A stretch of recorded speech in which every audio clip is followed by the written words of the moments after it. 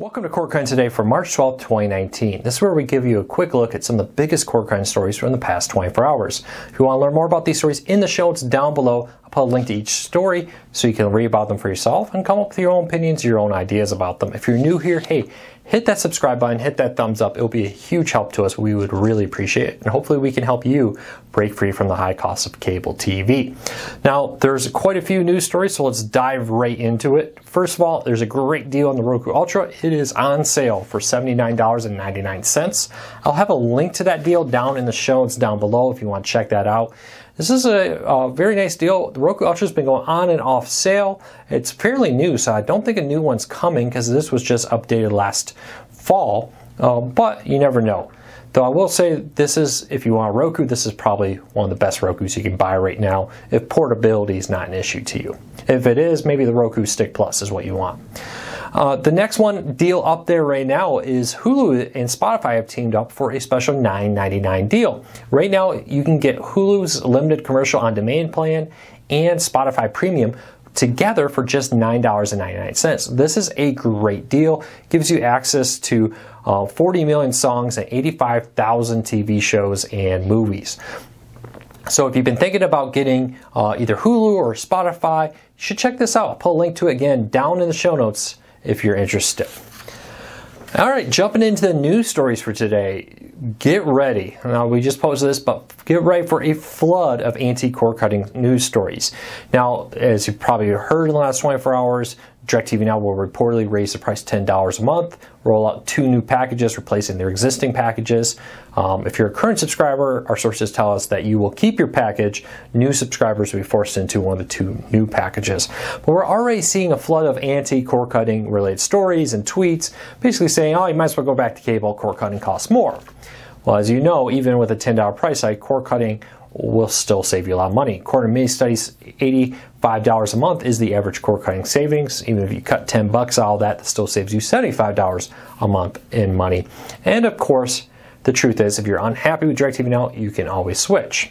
We should be hopefully learning more about the DirecTV Now price change here in the next few days as AT&T gets closer to rolling that out.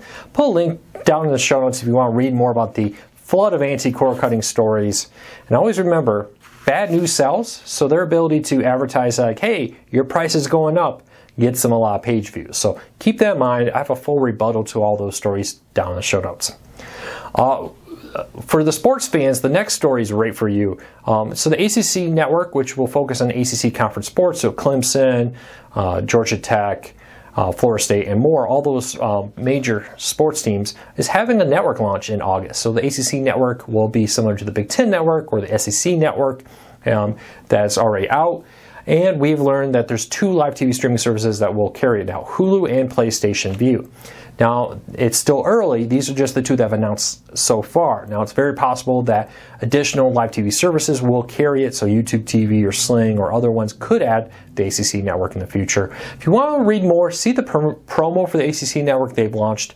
Link down in the show notes. Let me know. Are you an ACC fan? Will your um, ability to get ACC network on PlayStation Vue and the, and Hulu make you switch over to one of those services from maybe YouTube, from DirecTV Now? Leave me a comment. Let me know. Also, jumping back to the uh, DirecTV Now story for this next one, DirecTV Now has updated their legal description for their free trials to add price subject to change. So a couple weeks ago, somebody pointed this out to us that the uh, DirecTV Now's little blurb underneath the free trial has changed. It changed sometime a couple weeks ago. We have a link to archive.org that shows it before the change and after the change. And this once again points to the fact that, yeah, we are likely to see a price change this week from DirecTV Now, as it very clearly now states in their legal description, price subject to change. I'll put a link to that down below. And lastly, the story I wanted to spend the most time on is Apple will be having a big event on March 25th. We will, of course, cover it here and over at CordCuttersNews.com. But on March 25th, Apple is holding an event with the tagline, it's showtime. Everybody is pointing to this being the new Apple Live or on demand, I should say, streaming service that's meant to take on Netflix and Hulu and the like. Reports are it will be announced this month, but probably won't launch this month. That's what Bloomberg has reported, and they seem to have had very good sources when it comes to this news. So we'll have to wait and see what happens with that. But Cord Cutters News will be having live coverage. I'm thinking about doing a live stream commentary during it. Let me know. I'd love to hear from you. Would you love us to have a live commentary going on during the Apple event, stream live on YouTube? Would that be something you're interested in? Leave me a comment. I'll love to hear from you. Um, and let us know. But I have full details of what we know, which honestly is not much. All we know is that reportedly Apple will, we know that Apple will be having an event on the 25th. We have reports from places like Bloomberg that this event will be the announcement of their new streaming service. Take that with a grain of salt. They've been wrong before, but they're right more often than not. So, question to you Would you like us to do a live stream? We of course, have coverage written on cordcuttersnews.com also.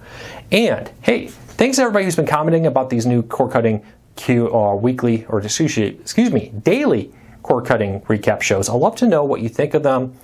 Uh, do you enjoy them? Is there something you'd like to see different from these? Leave us a comment. I'd love to hear your feedback. And I hope everybody has a great Tuesday. I will see you tomorrow with more news, tips, tricks, and how to guides all about the world of cord cutting.